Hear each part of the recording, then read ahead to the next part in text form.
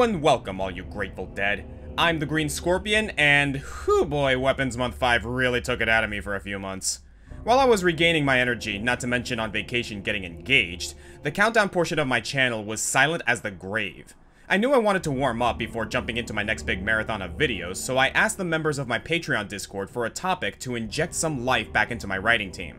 And we voted on many worthy suggestions but it's only fitting that we revive with a list about necromancers. Coming from the ancient Greek words necros, meaning dead body, and mancheia, which means divination, necromancy started as an aspect of shamanism, based on communing with the souls of the dead and practiced all throughout the world. I'll leave it to your imagination how successful they were.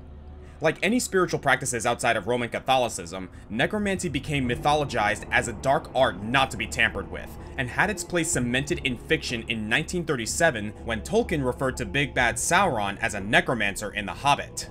In popular culture, necromancy wasn't just used for the purpose of seeking wisdom or closure, it was wielding the powers of life and death like two edges of the same sword. In some media, necromancers are synonymous with spellcasters in general, though I prefer the Dungeons & Dragons take, where it's presented as one of the eight schools of arcane magic, alongside enchantment, transmutation, and the like. How this power manifests can vary, sometimes depicted as noxious green fog, silver light, creeping frost, or gorgeous cherry blossoms depending on the artistic direction. Practitioners of necromancy can transfer and alter souls, hasten the effects of aging, or, most famously, raise the dead, be it as perfect resurrections or a mindless zombie army. On that note, while I did narrow down my list pretty quickly, it was putting them in order that was the real nightmare. Do I treat this like an archetypes list, like with Berserkers, or is this a surprise epilogue to Weapons Month, the weapon being death magic? I guess both? In order to rank the reviled revivers, I fortunately found four metrics of mortal mastery. First is defenses. Necromancy is a good build if you want to hide in your domain behind your undead legion, so if that's your MO, how hard is it for invaders to get to you? Second, how are you in an actual fight? Are your spells still useful when your foe has fought through your first fetid phalanx? Third, versatility. When you can move life and death in any direction, I want to see that used creatively. And four, scale. While some necromancers can take over a town, others can threaten a country or even a kingdom, maybe even the entire world. With that out of the way, which warlocks laugh loudest in the face of death? We're gonna find out or die trying. I am the Green Scorpion, and these are the top 10 video game necromancers.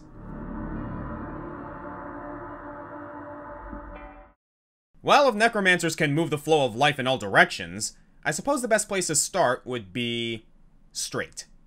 Many RPGs feature spells that, rather than doing damage or applying an effect, endow a target with immediate termination. These instant death spells often come with either a delay or low accuracy. And now I'm wondering if Thwack is a form of necromancy, but anyway. They're especially fitting for Reaper-themed characters, bringing tidings of non-negotiable annihilation. And I want to go easy on this trope today, as it's kind of a separate category. This doesn't scream Necromancer the same way as, say, Shaft from Castlevania does. But I can make an exception for my boy Thanatos, the chthonic god of death. Now you might be thinking, but I thought Hades was the god of death. No, no, Hades is the god of the dead. He controls the realm all souls go to, like a grumpy landlord. Thanatos rules the concept of death itself, the process of demise, the actual event of being unalived. He's death incarnate. And he also happens to be the childhood friend and possible ex-boyfriend of the game's hero, Prince Zagreus. The first time he showed up in one of my runs, I'll admit I was preparing myself for what might be a hard as balls boss fight, but turns out he's not actually here to kill you, as easy as that would be for him. Instead, Thanatos tests your resolve in a killing contest. Whoever offs the most enemies wins, which can be difficult depending on your build at the time. Both of his attacks work on a delay, either marking a target to take critical damage a few seconds later, or creating an area of effect, said effect being death. Thanatos is one of the few characters on this list that doesn't reanimate corpses as part of his skill set, but he's very adept at the most simple application of death magic, and he's never had a need to do anything else, though in theory he can also keep a soul alive just by neglecting to reap it. Unfortunately, as powerful as he's implied to be, I kept Old Than low on this list since we don't actually get to see much of his power outside of these inflexible demonstrations. It's also worth mentioning that you only meet him on his home turf. Like Zagreus, he gets sick if he's up on the surface for too long, and it's possible these bloodless revenants he slays are easier for him to dispatch, seeing as they're already dead. He's unaffected by Zag's attacks, but that might be more of a no-friendly fire mechanic, as we're told that he was once overpowered by Sisyphus of all people, resulting in death being turned off for the entire world for a period of time. Still, writing enemies a one-way ticket to Tartarus is a scary prospect, and I'm glad I'm not on the receiving end of it. But then again, death has never looked so good. That is one sexy psychopomp.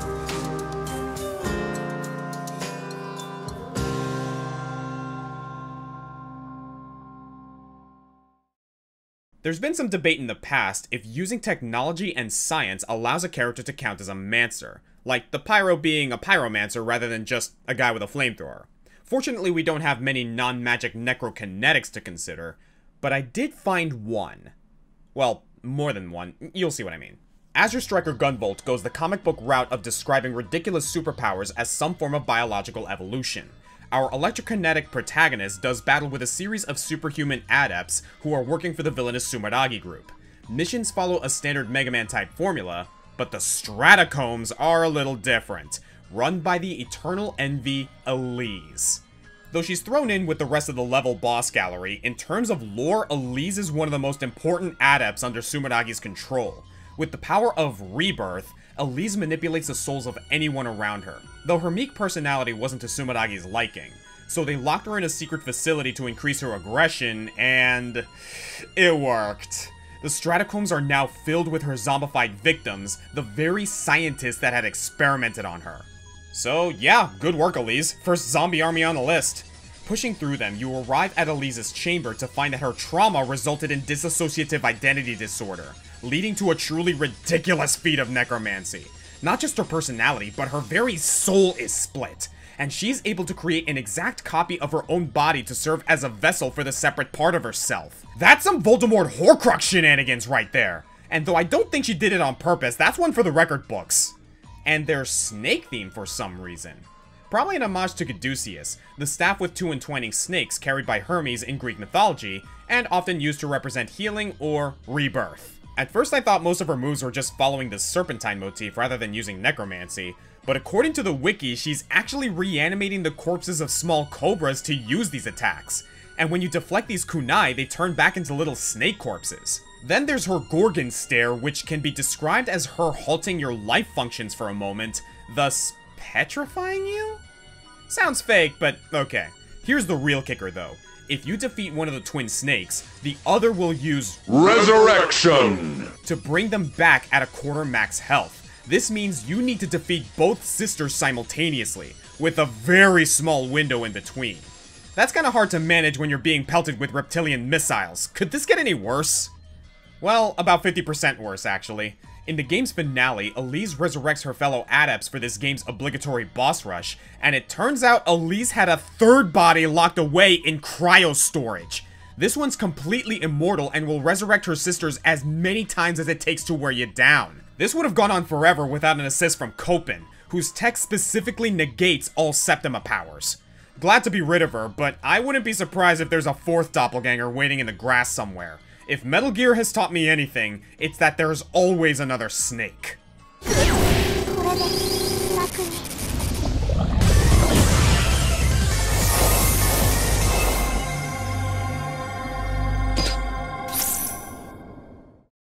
I remember playing Castle Crashers in 2008 and feeling nostalgic for the heyday of Newgrounds. That was 13 years ago, and now I can feel nostalgic about Castle Crashers itself, which holds as a madcap take on the beat 'em up genre. You spend the game roaming the countryside chasing after the evil wizard and his right-hand man, the Necromancer. Maybe resurrect a better PR guy. Seriously, what a name. As on the nose as he is, he's certainly deserving of the recognition. Thanks to his Meta Knight wings and the power of cutscenes, Necro is out of Sword's reach for most of your adventure, stopping only to occasionally sprout some skeletons in your path to slow you down. He also swings by the domicile of the Cyclops after you bested him, reviving him from a molten death so that he, and by extension his cone-headed best friend, can serve as one of the game's end bosses. And if you can beat them, you'll finally have your chance against the Necromancer himself. And I hope you've been level grinding because he's considered by many to be the toughest boss in the game by attrition alone. Good god, Necromancer, when's the last time you cleaned your room? There are bodies everywhere, I can't even see the floor.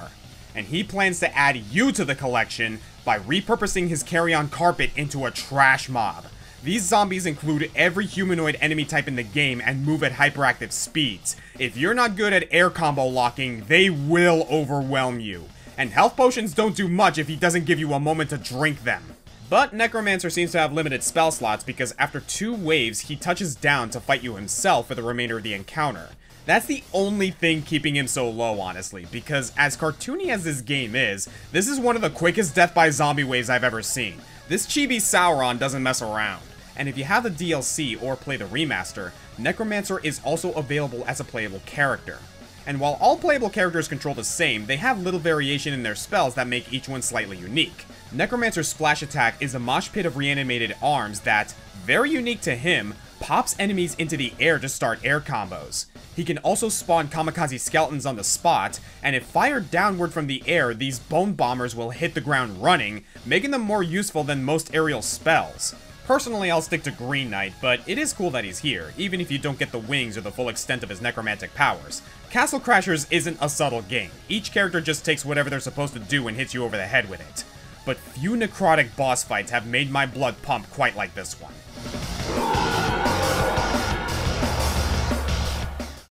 Opposite side of the spectrum from the frantic action of Castle Crashers, Wargroove is a slow-paced, highly tactical war game inspired by Advanced Wars and Fire Emblem featuring four fearsome factions. You start the game controlling Princess Mercia of Cherrystone as your kingdom is invaded by the ruthless ranks of the Felheim Legion, led by Valder, Lord of the Dead.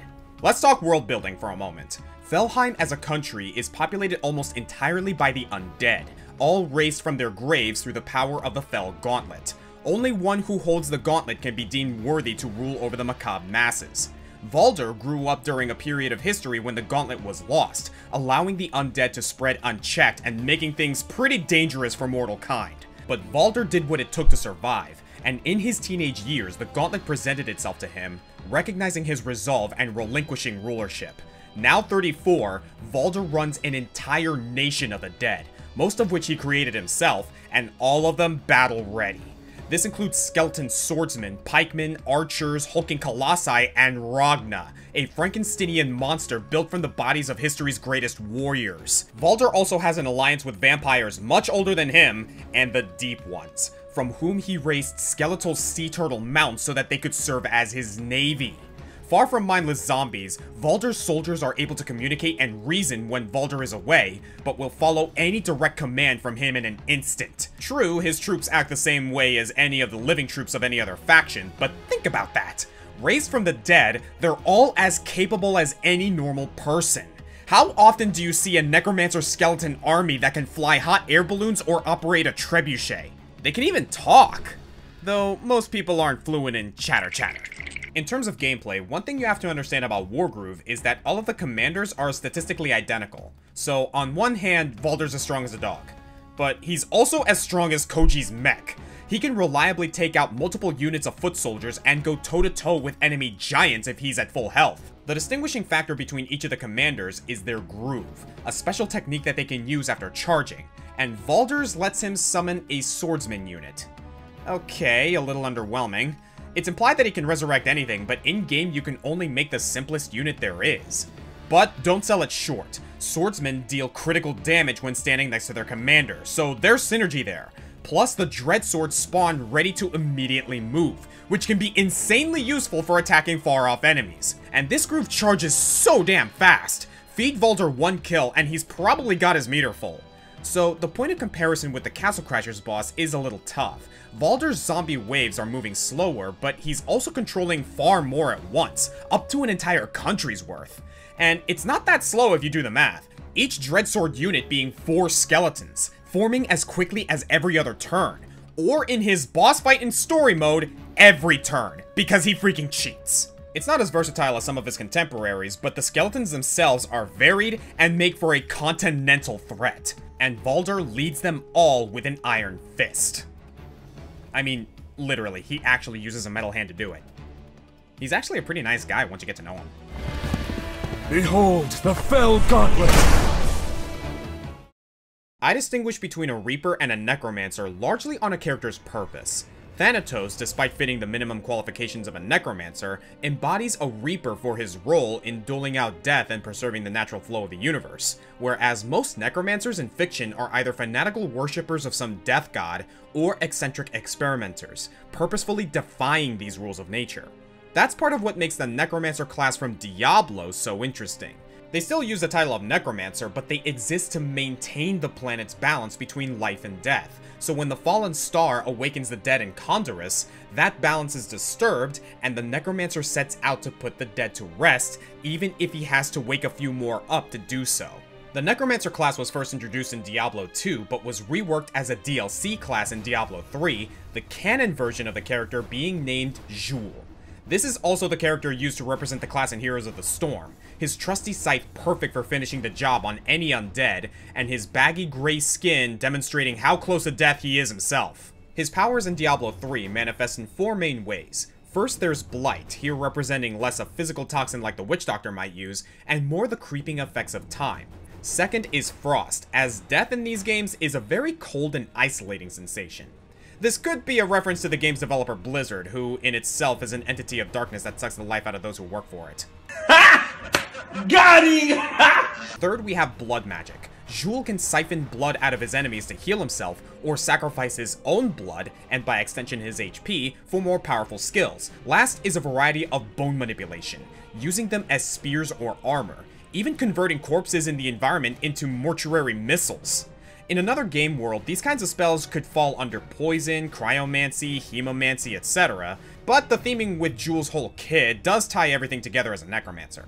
And of course, Xul can raise the dead, traveling with a posse of up to 7 skeletal minions. He can raise the departed as skeletal mages, or melt a bunch of flesh together into hulking golems. He can even devour the dead to restore the essence needed to cast his spells.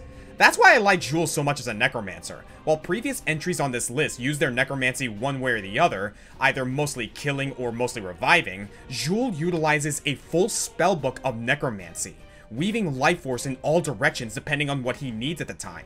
He turns corpses into projectiles, enemies into armor, health into damage, and minions into his own MP pool, incorporating sick death, cold death, bloody death, and pointy death. Not just a circle of life, but a mandala of demise and rebirth. Xul stands as one of the most iconic necromancers. Perhaps the most obvious example of this trope, but strangely, also one of the most creative.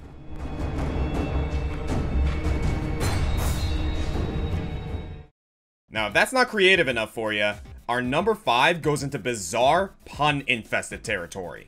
Give it up for the Necro Dancer, titular villain of Crypt of the Necro Dancer, which combines roguelike dungeon crawling with a rhythm game, the result being one of the most addictive, stressful, and awesome indie games I've ever played. Seriously, check out the highlights of my Twitch streams for this game. You can actually see my hair graying to the beat. Once upon a time, a fame-seeking minstrel named Octavian stumbled upon the Golden Lute, which not only helped him invent trap music, but also could weave his melodic influence through all creatures living and dead. It also made him immortal, but only as long as he kept playing, and all the while it drained his humanity until he became a blue-bearded ghoul with an obsession with raising minions and giving them terribly punny names. While not all of them look undead, every monster faced in the crypt is either revived by the Necrodancer, or has had its soul altered into servitude through a combination of necromancy and bardic performance. So, while Valder's skeletal forces were fairly diverse and able to operate complex ships and siege weapons, he can't beat the sheer variety of the Necrodancer's morbid menagerie. You've got the usual skeletons with shields or on horses, and the Necrodancer installed these coffins that will spawn them ad infinitum. Then there's the fully fleshed facsimiles of harpies, trolls, dragons, fire and ice elementals, monkeys that can bodyjack you, nightmares that flow with darkness, mummies making mummies, he'll even zombify the shopkeeper from time to time. Not to mention the area bosses like King Konga and his Konga line of zombies, or his personal Grim Reaper death metal. But the real kicker with the Necrodancer isn't his minions, it's his effect on living hearts. All of his pets are altered so that their hearts beat at a specific rhythm. And when you enter his multi-story dungeon, you too are cursed with his heartbeat. This forces you to make all of your movements, attacks, and item usages on tempo with the dungeon's background music, turning your spelunking adventure into Dance Dance Revolution. I know that sounds silly next to the multifaceted talents of Xul, but I don't think we should undersell what a powerful, if frankly bizarre display of necromancy this is. I've seen necromancers set a timer on how long a target has to live, but never a timer that decides how a target lives. And he uses it to subject you to his endless concert, or if you're good enough, eventually turn you into one of his undead champions. That's what he did to Dorian, the last hero to attempt to steal his loot, and Necrodancer blasted him into a state of mindless never death as his bodyguard, the Dead Ringer. The Necrodancer spent considerable rehearsal time on his impregnable defenses, but even with his back against the wall, he's no softy. In your first encounter, you have to use both Cadence and Dorian, arranging them just right to trigger the explosives and destroy Octavian's stage. But all the while, he's constantly reanimating more minions to attack you. Like, do you mind, dude? This is already hard enough. And with his feet on the ground, he'll still teleport around and Reanimate. on every beat. So there's a good chance his minions will finish you off before you can pin him down. Even when killed, he takes the secrets of the loot to his grave, constantly forcing our heroes to revive him so they can learn how to destroy the damn thing. If you've played the game, you know how hard it is to retire this spoony bard. You can stop an avalanche, but you can't stop a beat.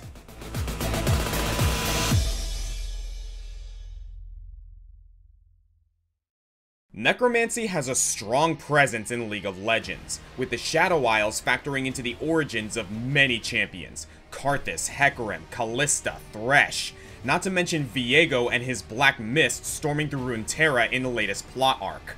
I still haven't decided how I feel about Viego, so my judgment came down to a pair of contenders, Mordekaiser the Iron Revenant and Yorick the Shepherd of Souls. It's funny, if you asked me for the best Necromancer in League back when I started playing 11 years ago, this would be no contest for Yorick. Both champions underwent major revisions in their skill sets and lore, and Mordekaiser's original title was the Champion of Noxus known as the Master of Metal. Basically, his whole thing was being an album cover. Aside from his soul-stealing ultimate, his abilities were more in metal manipulation, or ferromancy as I like to call it. Now he's actually a formless wraith inhabiting a suit of armor with a mace made out of souls, and the power to defy death itself through sheer willpower. Yorick started out as a retired gravedigger, retired on the count of death, who had to guide ghosts of the departed to their final destination before he could go on to his. A couple years back, he was reinvented as a Sixth Sense I See Dead People kid who was trained by monks before getting caught in Viego's Black Mist, only instead of dying like most people, he got sick new powers and a new posse following him. Possibly because of the blessed water that he has on his neck. He retains the ability to summon spirits, but also has more of a Shaolin monk fighting style with his trusty shovel. So, while Mordekaiser's leaned more into necromancy over the past decade, Yorick leaned ever so slightly away. He remains one of my favorite champions, but alas poor Yorick, I'm going with Mordekaiser. A warlord in life, Mordekaiser believed that by being a badass barbarian conqueror, he would be guaranteed Valhalla when he died. When his time came, however, he arrived in a sort of purgatory, an empty and grey wasteland to wander ceaselessly until he faded into oblivion. Instead of merely accepting his new forever home, the Kaiser persevered, his sheer anger and will keeping him from fading until he found some sorcerers gullible enough to revive him. After promptly slaying his beneficiaries, Mordekaiser found he'd absorbed energy from his time in Limbo that made him stronger than ever, and led a war from atop his immortal bastion. He was eventually slain again, but you fools, that was all part of the plan. For all the while, Mordekaiser had been manipulating the souls of his victims just before killing them. When he arrived back in the Afterworld, which he now had claimed for his own, he found those warped souls waiting for him, his new army, from which he built an even stronger empire until the day he can invade mortality for the last time. You really can't keep a good necromancer down. To the untrained eye, Mordekaiser's combat might look more like weapon mastery.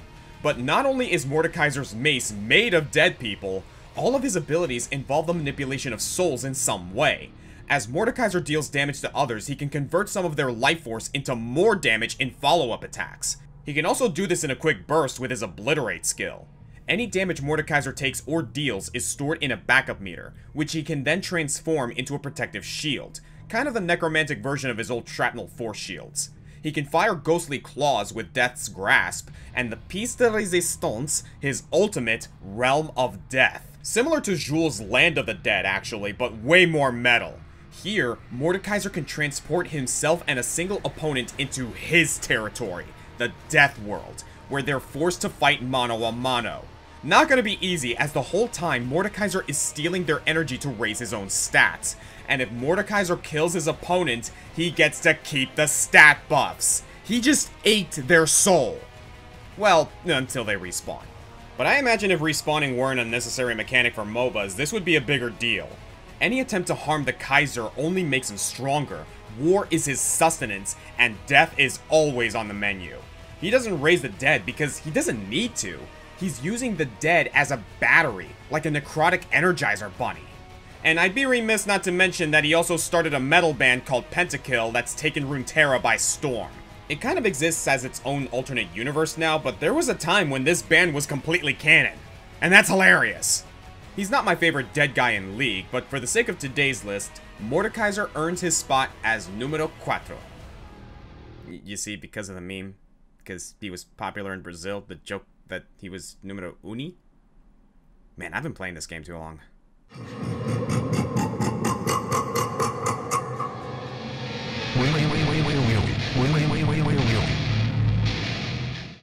It's standard practice for necromancers to extend their stay on the planet, living through phylacteries and self-resurrection for up to thousands of years. But few necromancers have been added for as many real-world years as Quan Chi, first appearing in Mortal Kombat 4 in 1997 and still making appearances today. Well, technically his first appearance was in Defenders of the Realm, a god-awful animated series. and then Mortal Kombat Mythology Sub-Zero. But that's a thing with Necromancers, they do anything to survive, even if it means appearing in something dead on arrival. So, Mortal Kombat 4. After the defeat of Shang Tsung and Shao Kahn in the original trilogy, Mortal Kombat needed a new big bad, and Quan Chi filled that role. Vicariously. He actually serves an elder god named Shinnok and works to reconstitute him. And in the meantime, he uses Shinnok's amulet to empower his spellcraft, making him the most feared spellcaster Outrealm has ever seen. Quan Chi's most basic form of necromancy are these phantasmagorical floating skulls. These can theoretically kill a target instantly, though this being Mortal Kombat, most of his opponents are either gods, demons, cyborgs, or mortals of incredible spiritual resilience, all able to tank at least a few of these projectiles. This is where Quan Chi's martial arts mastery comes in handy, allowing him to defend himself long enough to unload several more Skull Blasts. He also has portal magic, but not just the Doctor Strange sling ring kind. Quan Chi can open doorways to other dimensions to effortlessly pull himself or others through, including the Mortal Kombat equivalent of Heaven, Hell, Limbo, and so on. To Quan Chi, crossing the veil between life and death is as easy as opening a refrigerator, and he can empower his magic with the souls of the dead in a similar fashion to Mordekaiser, or offer up those souls to empower others, as he does with his fellow soul-eating wizard Shang Tsung when they form their deadly alliance. If he doesn't have a clear shot to insta-kill or the time to raise a zombie minion, he can grasp an opponent's soul and rewrite it on the fly, effectively live zombifying them and causing them to march stupidly toward him for a combo setup. He'll even summon demon bats from the nether realm, the Mortal Kombat equivalent of hell. I can imagine some fans were expecting Scorpion for this list, who also summons demons and drags enemies to the nether realm, where he's much more powerful. But ask yourself, where did Scorpion get these powers?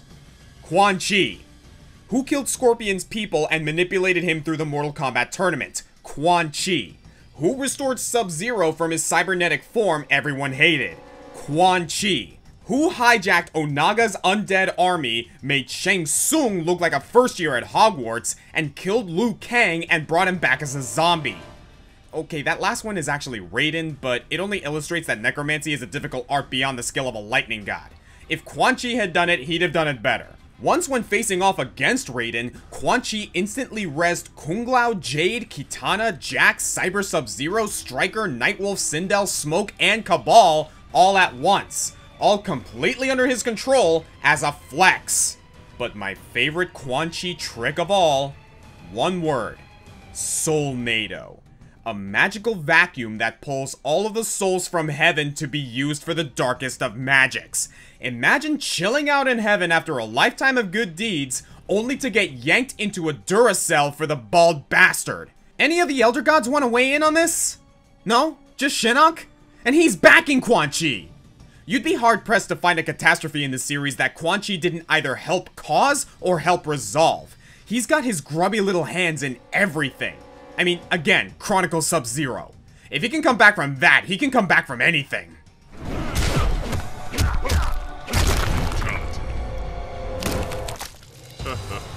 How unfortunate.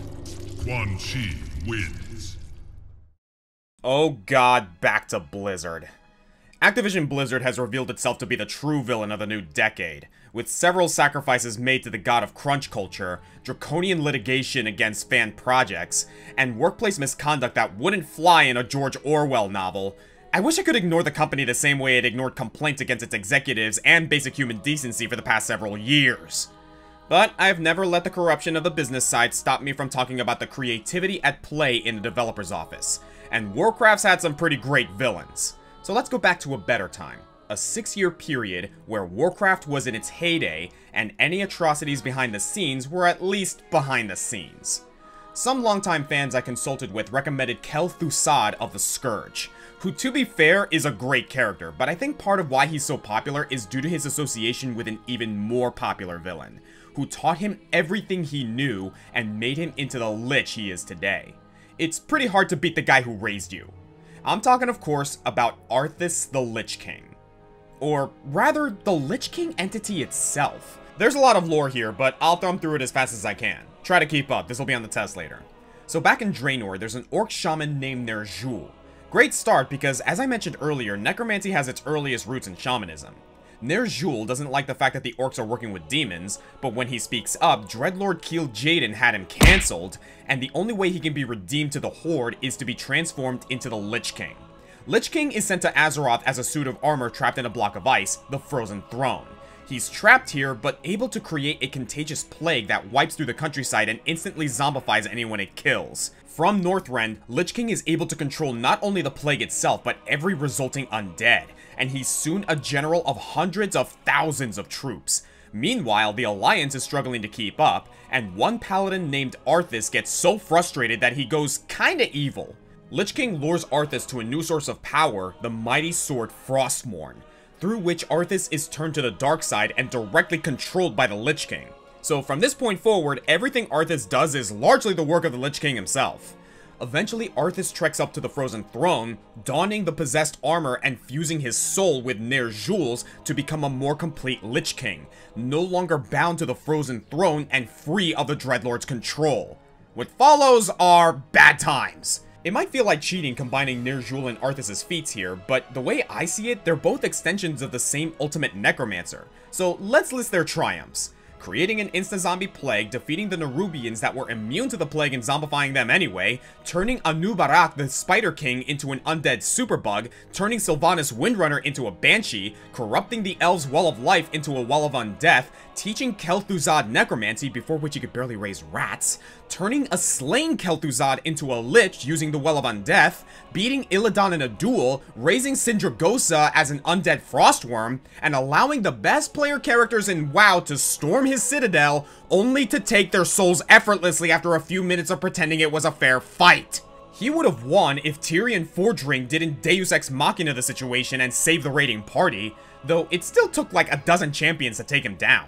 The Lich King mantle even persisted after this, with Bolvar Fordragon assuming the role to keep Arthas' undead legions from swarming across Azeroth unchecked. I feel like Bolvar could have just commanded them all to jump in a volcano and be done with it, but I guess that's not allowed, so instead, the new Lich King hung around to attract nostalgic fans back when everything became stale, until recently when Sylvanas killed him because she's the creator's current favorite. Ugh. The Lich King's reign over Azeroth was a moment in time. A whole fictional world in peril, the Alliance and the Horde setting aside their differences, literally millions of players fighting against the Lich King's forces, all trying to get to this guy. It was a thing of beauty. But looking at WoW today, well, it has more in common with the frozen set of armor than the mighty Dark Paladin. The plot spinning its wheels, making increasingly divisive story decisions, and rather than feeling like a world to explore, WoW has become a passionless list of dailies, more about making your numbers go up than being part of a community. Makes me yearn for the days when we fought the Lich King. Meanwhile, other MMOs like Final Fantasy XIV are doing better than ever.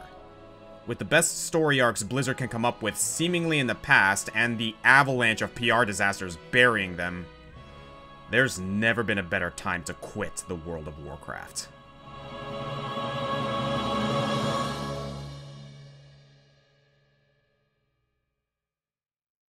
If I wasn't so mad at Blizzard, I probably would have put the Lich King at number 1 without much consideration. But that moment of hesitation allowed me to reevaluate the other entries, and one last resurrection is squeaked past old Arthas. Don't get me wrong, it was close. But taking a page from the power scaling community, I started to think about each necromancer in terms of their sphere of influence, how big of a force they can amass or oppose. Elise and the Castle Crashers Necromancer can protect small hideouts or raise small but elite squads. The Necro Dancer is protecting a much larger dungeon, whereas Jool is able to penetrate such a dungeon. Valdor ranked a little lower for not being incredibly versatile, but he's up there with Mordekaiser and Quan Chi in terms of scope, pulling together legions that could easily overtake a continent. The Lich King gets frighteningly close to conquering a planet. And there's only one Necromancer that I can think of that tops even that. Well, also Thanatos, who physicalizes the very concept of death itself, but he was almost disqualified because I just don't think he's very interested in the topic. But at the same time, it turns out Thanatos isn't the only incarnation of death on this list. So rise from your seats and from your graves for our number one necromancer, Grave Lord Nito.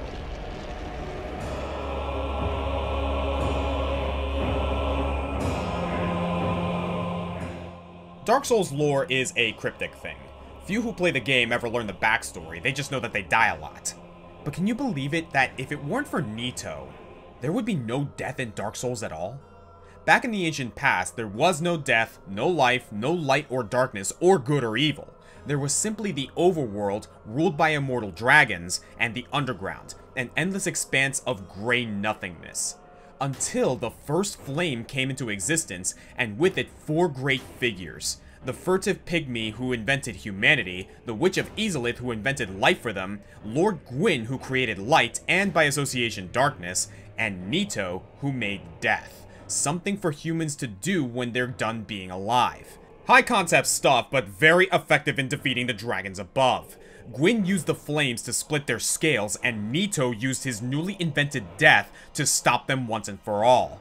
So yeah, we got the instant death spells down, powerful enough to topple mother effing dragons. This beckoned in an age of flame, where humans prospered and built great kingdoms, but it wasn't made to last. In time, the first flame, source of light and life, began to dim, and Gwyn's group struggled to find a solution. The Witch of Izalith tried to make a new flame, and that went horribly wrong. So Nito and Gwyn worked out a way to link humanity back to the flame, fueling it whenever someone dies. That's why bonfires are so important in Dark Souls, by the way. But it turns out humanity isn't a renewable resource. There just weren't enough people to keep the flame lit. So next level problem solving, Nito begrudgingly makes it so that everyone who dies comes back as an undead. And that's why you always respawn in Dark Souls, and why you have to fight to get your full health bar back. Your repeated deaths are being used to fuel the first flame again, and again, and again.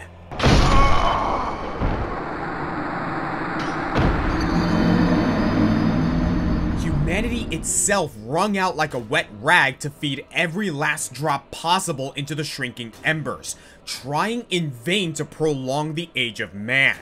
The point I'm getting at here is that Nito's very existence shapes reality itself, and he can change the rules of life and death seemingly on a whim, re-engineering how souls are collected in order to maximize their use throughout the world. Though, he seems a little conflicted on the matter.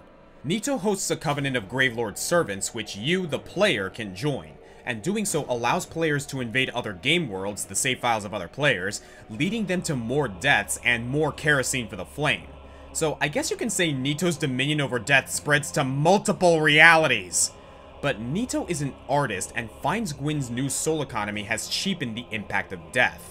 So he waits at the bottom of the Tomb of the Giants, behind countless masses of marrow which serves as a test, waiting for an adventurer to prove themselves strong enough to end Gwyn's Age of Light. So, in one way, it will mean the end of death, but in another, it will also be the end of life. And that is the greatest death of all.